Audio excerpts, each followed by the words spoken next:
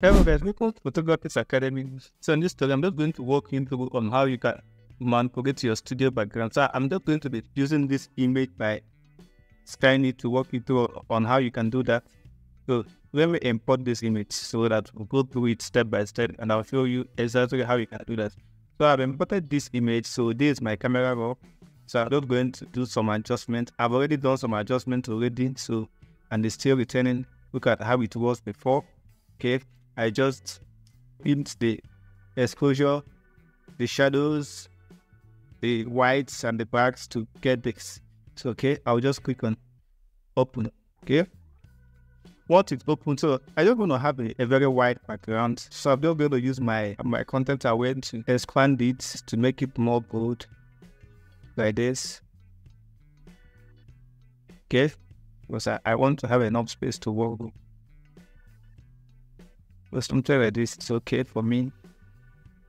I'm just going to hit on my content aware so that it can fill up these places for me, the empty space for me. All right, so look at what I have here now. So I just want to have something else, okay?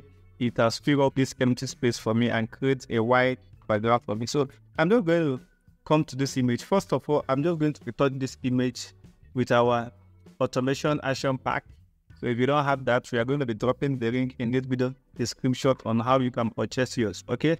So I'm just going to come to my windows, my actions. Okay. So to get my automation action pack, here is it. Click on my report action and wait for it. So because I want this image to be very smooth, so I'm just going to be choosing three. Okay, or rather four. Let's make it four. So wait for it. Now look at that. Let me zoom in so that you can see what this has done to our image.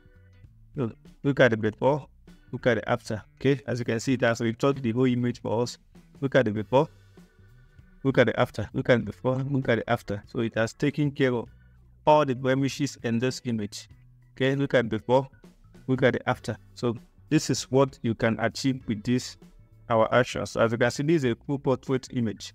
So this is the full body image. So it has taken care of the portrait for me. So I'm just to come to the action again. Use my auto dodge and burn. Okay. So let me delete and group them.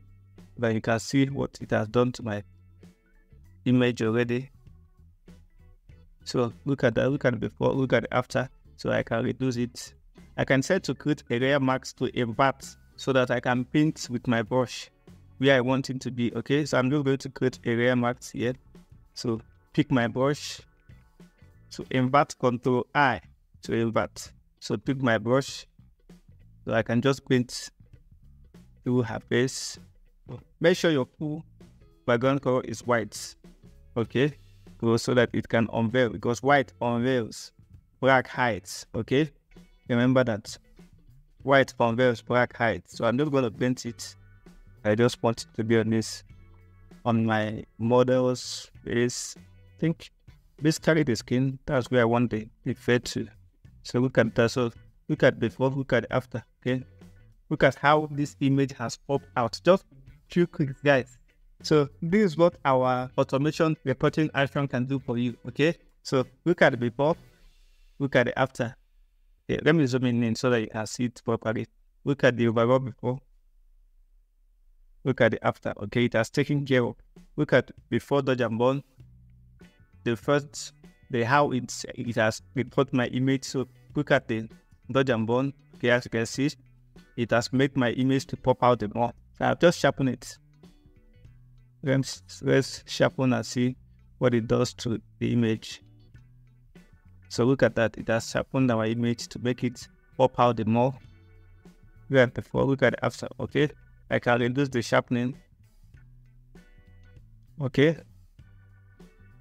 So I think I'm done with this for now. So let me just flatten the whole image so that we can run through on how we can manipulate our background very fast. So let me flatten the whole image. So look at that. I've already flattened the whole image. Come to my select tool here. Come to my toolbar here and click on select subject. Okay. Because I want to select just the model. Okay, yeah, as you can see, I've selected just the model. So I'm not going to drag it here to this new to create a new layer. So come to this image, right click and choose layer via cut.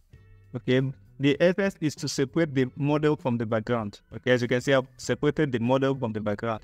So I'm just going to come to my file and select the background that I want to use. I want to use this background. Okay, so just drop it here. So I'm not going to drop it in between the background and the model. Yeah, yeah, something like this. To have something like this, so that I can now scale it up to make it to fit in where I want. Okay, how I want it to fit in. Okay, something like this to make it to fit in very well to look realistic. Because I just want to have a very realistic background. I just want to make it so realistic. Okay, something like this. Okay, so I've successfully with my background on this image. So if you notice the background is still hanging. So the thing I'm going to do is just to create a an empty layer so that I can bring the model and the background. Okay, the feet is still hanging. So I'm just going to come to here and create an empty layer. Okay, come in between and create an empty layer. Pick my brush. So I'm just going to create a realistic shadow here. Okay, so let me zoom in so that you can see what I'm doing. I'm just going to create a realistic shadow here. I'm just going to replace my my brush and paint inside. I just want to paint inside to create a realistic shadow here. Okay, so something like this. So over time, I'm just going to increase my brush, reduce my flow again. So to also create further realistic shadow. I'm not going to paint very carefully because I don't want it to come out too much. So something like this. So if you notice now, our model is no longer hanging. Okay, let me remove it so you can see. Look at that. Okay, it's no longer hanging. So I've successfully create a realistic shadow. I can now come to my filter to blur it to make it to look further realistic. Come to my filter, choose blur, Gaussian blur. So look at that. So to make it look more further realistic, that's how you can create a base. Okay, I want to create a reflection of this model. So I'm going to create a shadow of this model. So a mirror of this model. Okay, so I'm just going to Control J to duplicate. So come to my edit, come to my transform. Okay, flip vertically. Okay, so I will just drag it down a little like this. So flip vertically. So if you notice I flip vertically. So another thing I'm going to do is to come to my edit, it up. Okay, yeah, so that I can come here and read things that I can use and drag. Okay. So all these things I'm doing is just to make the is just to make it to be more realistic, to look more realistic. Okay. So something like this.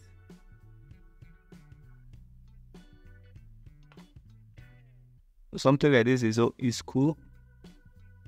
So after that, I'll just click on OK. So I've had something like this, okay? Look at that. So I'll just reduce the opacity. Uh, I'm not going to reduce the opacity. So look at that. Have a, a kind of a mirror. Then I'm just going to create a, a global color to merge everything to make it look more realistic. So I'm just going to come here, my adjustment to come to color lookup. So choose any one that I feel that is it's that will be okay in this image. So I'll choose this. So come to my areas. So change the blending option to anything that you feel that can work for you better. So look at that. So reduce it.